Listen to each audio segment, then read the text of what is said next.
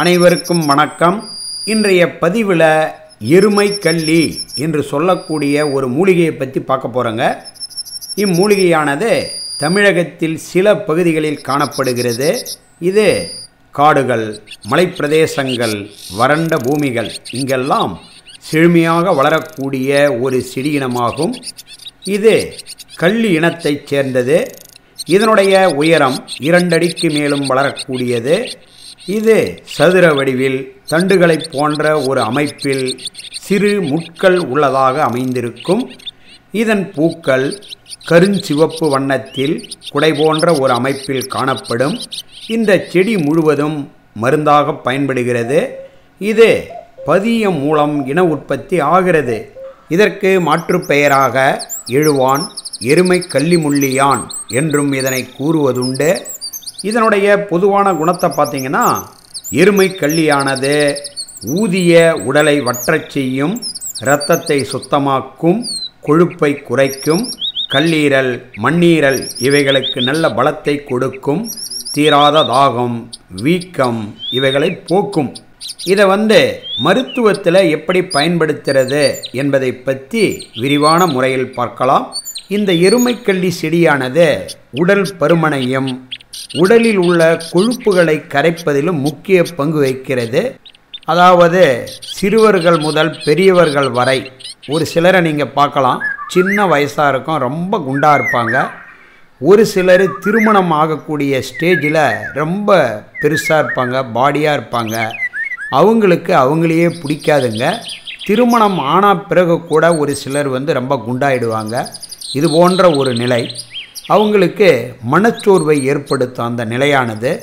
நாம் என்னதான் டயட் கண்ட்ரோலில் இருந்தாலும் குறைவான முறையில் சாப்பிட்டாலும் நம்ம உடம்பு இழைக்க மாட்டுதே என்ற ஒரு வேதனை அவங்களுக்கு இருக்கும்.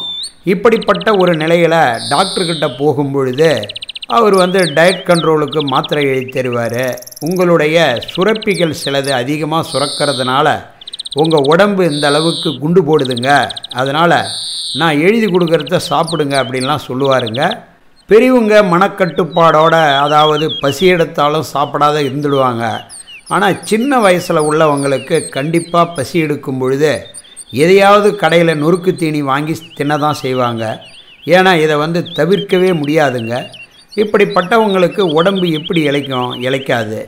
இந்த எருமைக்கள்ளி செடியானது இதற்கு கைகண்ட மருந்துங்க. இதை வந்து நீங்கள் எந்த விதத்தில் பயன்படுத்தினாலும் பசியே எடுக்காதுங்க. துவையலாக அல்லது கூட்டாக அல்லது பொரியலாக எப்படி ஒன்றாலும் இதை பயன்படுத்தலாம். ஒரு மனிதனுக்கு பசி எடுக்கலை அப்படின்னா அவன் வந்து வேறு ஒரு பொருளை வாங்கி சாப்பிடணுன்ற எண்ணமே வராதுங்க. அது சின்னவங்களாகட்டும் பெரியவங்களாகட்டும். அது போன்ற ஒரு ஃபீலிங் சாப்பிட்ட போலயே ஒரு உணர்வு இருக்கும் பொழுது ரொம்ப நேரத்திற்கு உடலில் பலம் குன்றிடும் அப்படின்லாம் சிலர் நினைப்பாங்க. திம்பு இருக்காது உடல் பலவீனமாக ஆயிடும் அப்படின்னு அந்த நிலை இந்த மூலிகையில் கிடையாதுங்க. இது சாப்பிட்ட போல் உணர்வும் இருக்கும். அதே நேரத்தில் உடலை தெம்பாவும் வச்சிருக்கோம். அதுதான் இந்த மூலிகையினுடைய ஸ்பெஷலே.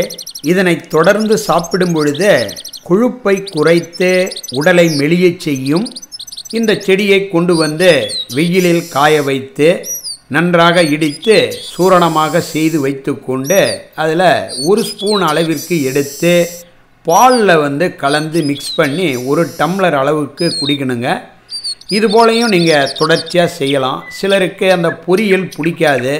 அது போன்ற உள்ளவங்க பாலில் பனங்கற்கண்டு அதும் கூட சேர்த்து தினமும் உள்ளுக்கு சாப்பிடலாம்.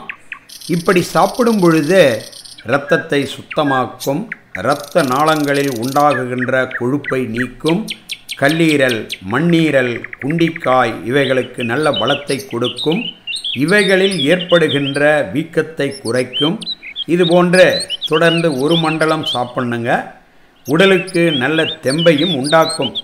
இதை வந்து சப்ளிமெண்ட்ஸாகவும் பயன்படுத்துகிறாங்க பிரண்டையில் எப்படி துவையெல்லாம் செய்கிறாங்களோ அதே போல் இந்த எருமை கல்லிலையும் உப்பு புளி மிளகாய் இது போன்ற பொருட்களை வைத்து துவையலாகவும் செய்வாங்க. சட்னி போலவும் செஞ்சும் சாப்பிடலாம். உடம்புக்கு ரொம்ப நல்லது. இதில் இல்லாத சத்துக்களே இல்லை அப்படின்னு சொல்லலாம். அனைத்து விதமான சத்துக்கள் நார்ச்சத்து இரும்புச்சத்து எல்லா சத்தும் இதில் நிறைந்து காணப்படுதுங்க.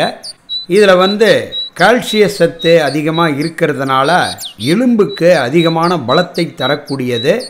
எருமைக்கல்லியை கொண்டு வந்து நன்றாக பட்டு போல் அரைத்து அதனுடன் புளியை சேர்த்து குழம்பு பதமாக காய்ச்சி வீக்கமுள்ள இடங்களில் தடவி வர பரிபூரண குணம் ஏற்படும்.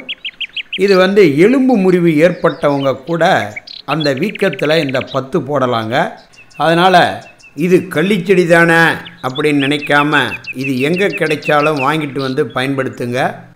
உடல் பயிற்சி செய்பவர்கள் அதாவது ஜிம்மில் போய் எக்ஸசைஸ் பண்ணுறவங்களுக்கு இது அருமையான ஒரு மூலிகைன்னு சொல்லலாம். இதை வந்து பயன்படுத்திக்கிட்டு பயிற்சி செய்யும் பொழுது அதிக அளவில் தெம்பையும் சத்தையும் கொடுக்கக்கூடியது. அடுத்து ப்ரெக்னண்ட்டாக இருக்கிறவங்க அவங்க பயன்படுத்தலாமா அப்படின்னா பயன்படுத்தலாம். இருந்தாலும் அருகாமையில் உள்ள சித்த மருத்துவரை அணுகி ஆலோசனை பெற்று செய்வது நல்லதுங்க. இதனுடைய பேரை வந்து இன்டர்நெட்டில் போட்டு நீங்கள் சர்ச் பண்ணும் பொழுது சூரணங்கள் மாத்திரைகள் லேகியங்கள் இது போலலாம் கிடைக்குதுங்க. நீங்கள் ஆர்டர் பண்ணி வரவழைச்சு கூட பயன்படுத்தலாம். எதுக்காக இதை சொல்கிறேன் அப்படின்னா இது எல்லா இடத்துலையுமே இந்த மூலிகை கிடைக்காதுங்க.